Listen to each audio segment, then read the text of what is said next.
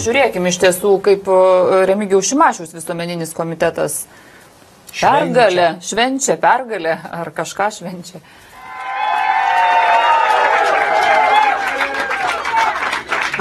Šiandien yra laikas mąstyti, yra laikas dirbti, yra laikas kalbėti, yra laikas švęsti. Šiandien yra laikas švęsti.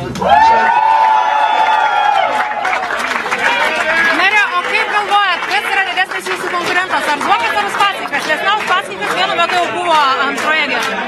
Na, kol kas sunku pasakyti, nes turbūt tik iš kelių procentų dar gauti apylinkių rinkėjų balsų.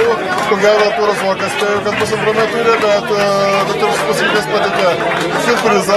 Aš tikrai tikėjausi, kad jis bus gana aukštai, bet nu, žiūrėsim kaip bus. Aš esu nusteikęs su bet ko kovoti antram turė, nes manau, kad vis tiek yra daugiau apie Vilniečių pasitenkinimą ar nepasitenkinimą to, ką jie turi mieste.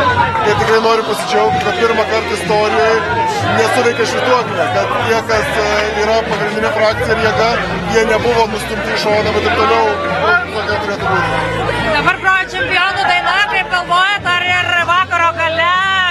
tokios čempioniškos nuotakos bus rytoj ryte? Aš manau, kad tikrai bus neblogesnis negu šiandien. Tai turėtis. O paskui, reiškia, reikės daug dirbti. Vėl.